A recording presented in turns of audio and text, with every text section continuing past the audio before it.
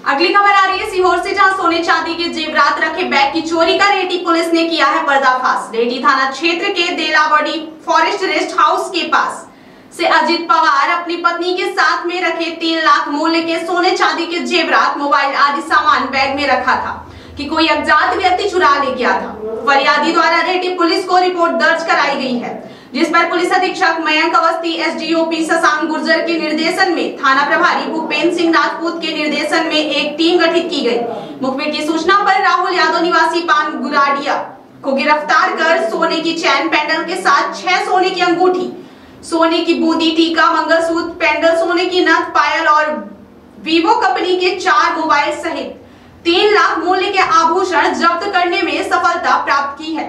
Police अधीक्षक मयंक अवस्थी द्वारा Rehti police द्वारा चोरी का पर्दाफाश करने पर टीम को इनाम पुरस्कृत किए जाने की घोषणा की गई है। दिनांक 5 जुलाई 2022 को भोपाल के निवासी हैं एक अजीत पवार। ये अपने परिवार से शादी के लिए जा रहे थे। रास्ते में देलावाड़ी में इन्होंने रिपोर्ट कराई थी कि इनका सामान चोरी हो गया था।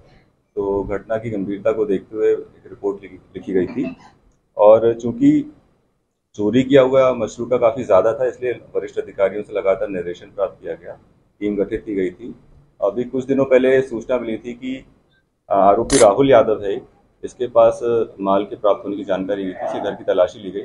आरोपी द्वारा अपना गुनाह कबूल किया गया और उसके घर से जितना भी चोरी किया गया माल था, पूरा जब्त हुआ है, जिसमें सोने की एक चेन है, छह सोने की अंगूठी है, सोने का एक टीका है, एक मंगलसूत्र का पेंडल है, सोने के तीन नथ हैं, एक लौंग है, एक जोट पायल, छह बिछिया।